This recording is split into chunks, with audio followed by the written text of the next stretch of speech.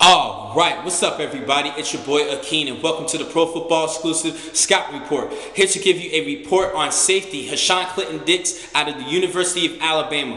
What a great player as a Crimson Tide member, and I think he could be one of the top players in the first round of this year's NFL Draft. Now, I think he has the potential to become an elite player at the next level in the National Football League. Now, I'm going to give you a quick little bio about him, his history. Coming from the University of Alabama, he was actually one of seven true freshmen back in 2011 to play. He got a little bit of playing time. But that breakthrough year where he caught a lot of people's attention was in 2012, where he led the team with five interceptions. And he had a great performance against Notre Dame in that national championship, helping the Crimson Tide get that national title. In 2013, he had 52 tackles, four pass breakups, and two interceptions. And he, everybody, he caught a lot of attention, especially after that national championship. And he was actually one on the Jim Thorpe Award watch list given to the nation's top premier defensive back back, and I think he he had a good season overall. A little bit of a down year, but I'll explain that a little bit later on. Now I'm going to give you a couple of strengths about him. Now he has a rare combination of size, speed, ball skills,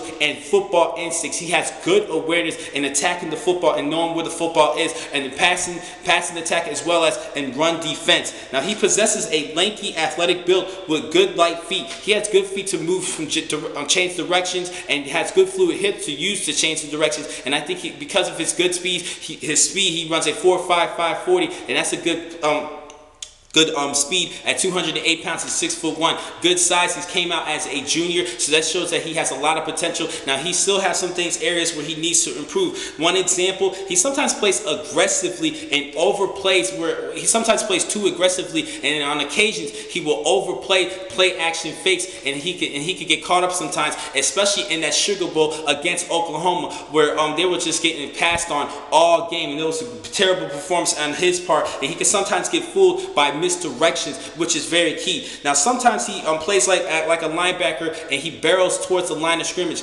giving good nifty athletes cutback lanes in which we, he can be exploited. He needs to improve at that and stop trying to be too much like a linebacker. You have your already have your linebackers there at outside linebacker as well as the inside linebacker. He should be he is still great support, but he sometimes he overplays and sometimes, giving on um, cutback lanes which he does need to work on. Now, this particular player, he delivers a huge hit. He could give you an intimidating hit, but sometimes when he lowers his shoulder, he does not wrap up to to, to uh, follow up on the on the tackle to complete the tackle. Sometimes when you don't wrap up, good running backs, especially the bigger running backs in the National Football League, they will definitely bounce off of those big hits. He can still lay out lay the smackdown on you, but I still think he just need to work on that's the full technique in tackling and wrapping up to complete the tackle and follow through all the way. Just like basketball, what some people like tell you when you you should extend your elbow bit to follow through your shot. That's the same thing like tackling.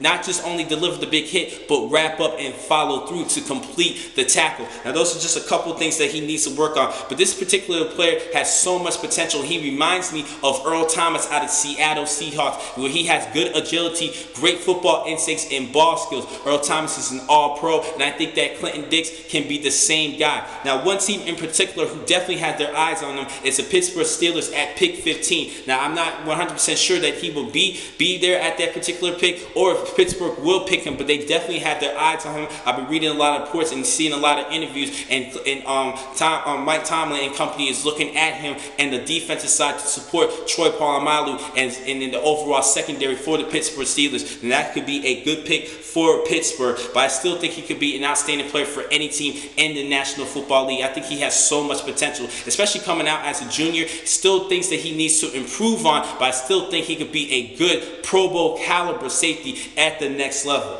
Now, the next time I'm going to catch you guys is tomorrow, where I will give you two more scout reports on the defensive side of the field, and I'll catch you guys then. And then on Friday, I will give you um, my top five inside linebackers. Thank you for watching today's blogs from Pro Football Exclusive. I'm your man, Akin McCall. Be easy.